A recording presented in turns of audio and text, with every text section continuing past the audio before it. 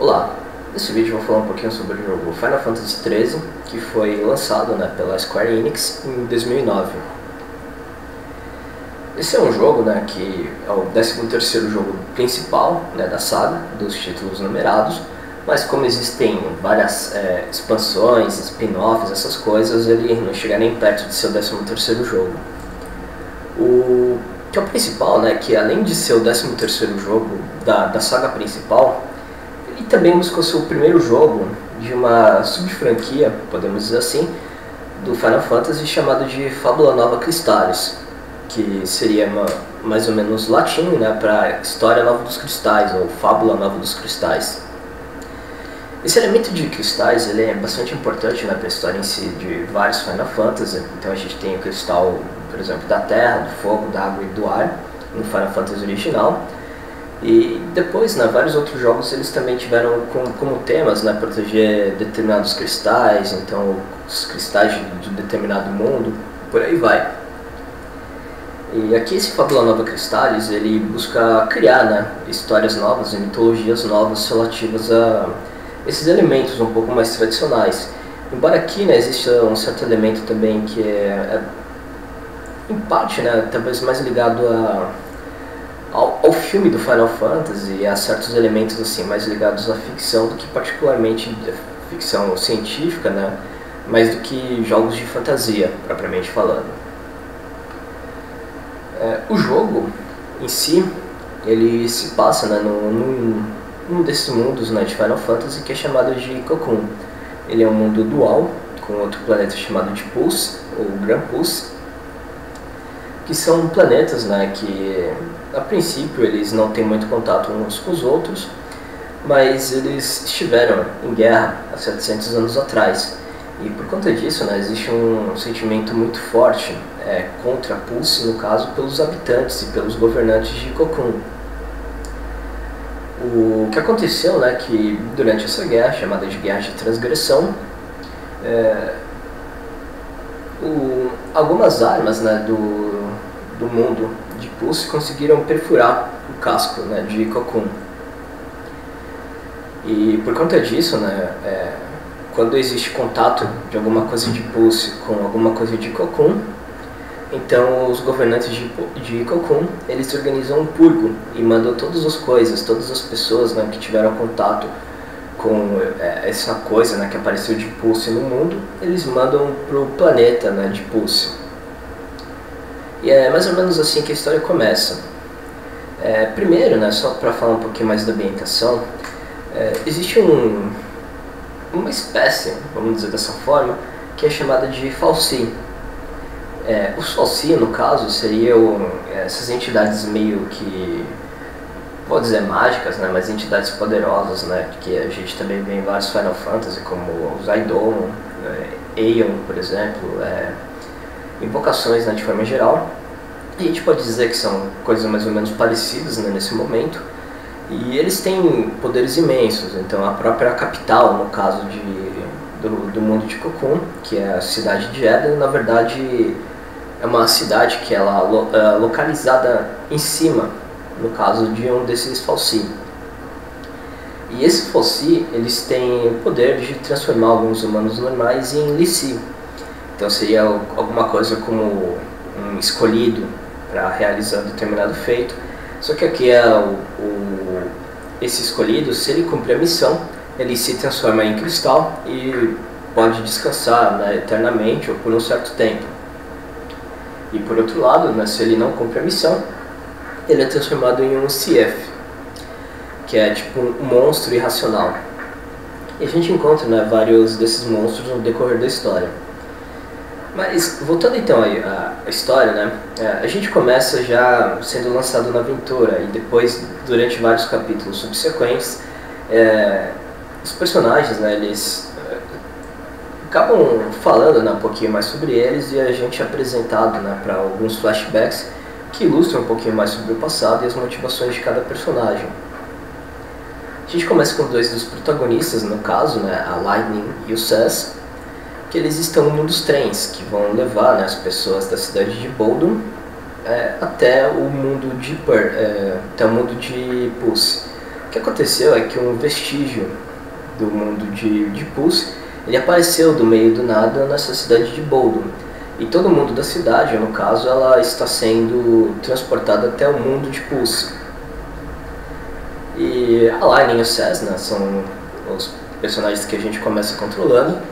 É, eles acabam causando né, alguma confusão. O objetivo da Lightning no momento ela é resgatar a irmã dela, que é chamada de Sarah, que de alguma forma ou de outra ela sumiu, um sumiço que está meio conectado no caso com esse vestígio do mundo de Pulse.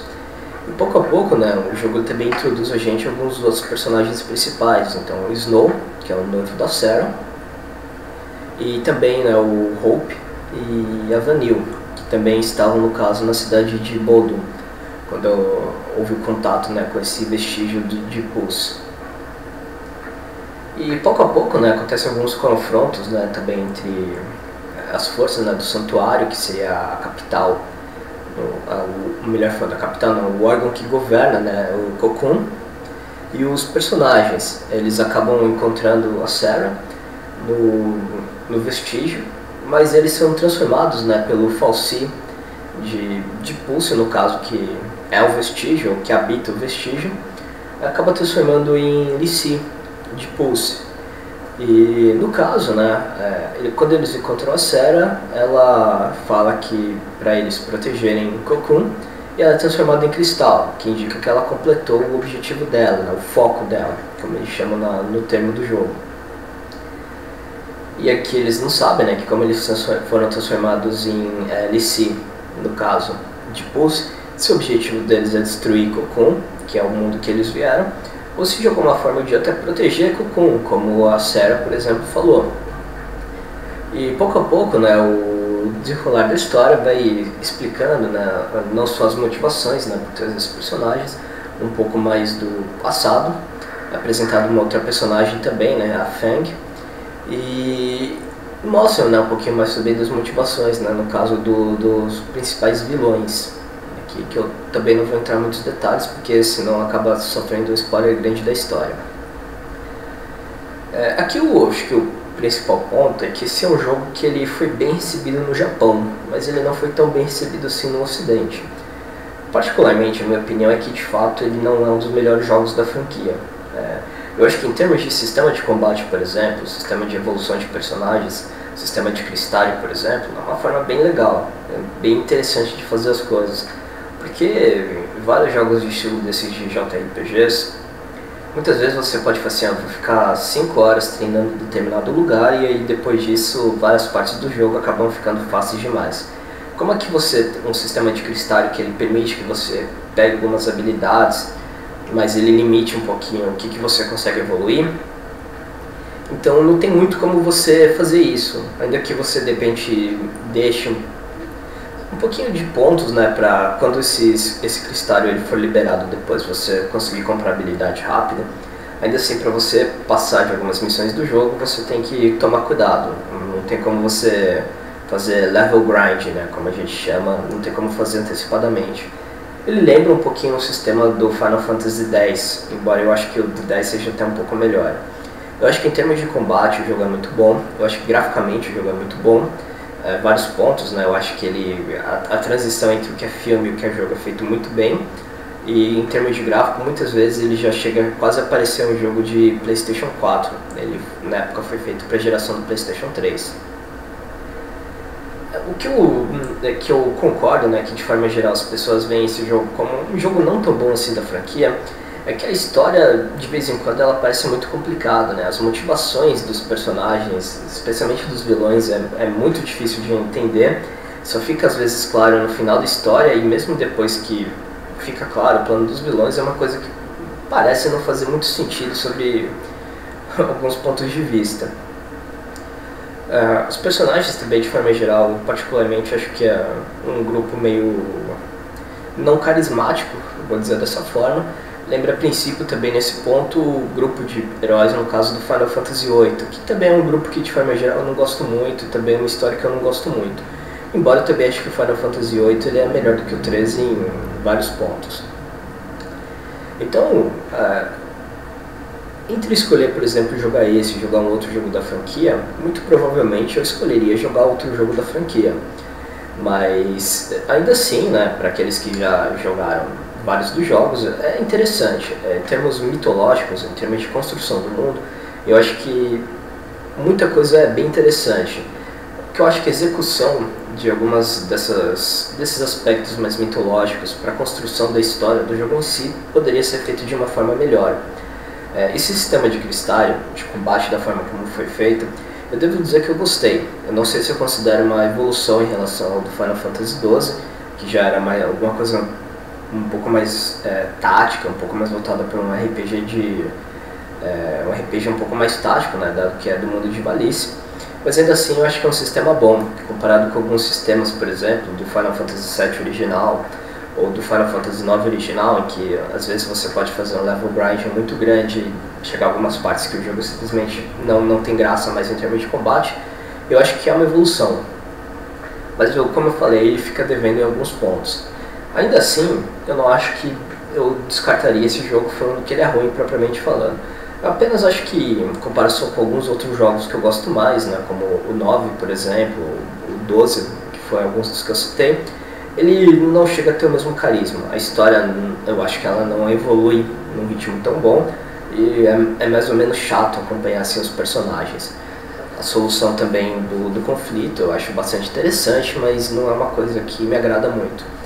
E jogando né, a continuação dele, né, Final Fantasy 13 2, é, eu acho que ela melhora um pouco né, alguma, alguns dos elementos da história que são contados aqui nesse jogo. Particularmente, eu acho que eu gostei até um pouco mais da história do Final Fantasy XIII depois que eu joguei a continuação. Ainda assim, eu não sei se isso me faz é, aprovar né, um pouco mais esse jogo, porque em tese deveria ser um jogo que você consome de forma isolada. Então, o Final Fantasy IV, por exemplo, eu não acho que a experiência dele seja melhorada por jogar a continuação. Ele é um jogo bom por si só. É a mesma coisa do Final Fantasy X, do Final Fantasy VII. O 13 eu acho que com o Final Fantasy 13 2 ele dá uma melhorada, mas eu tenho um certo pé atrás né, em coisas desse sentido. Ainda assim, eu acho que para aqueles que jogam outros jogos da franquia, é interessante né, conhecer esse daqui também. Eu não me arrependo de ter jogado, apesar de não achar ele tão bom quanto os demais. Mas com isso então ficamos por aqui. Obrigado.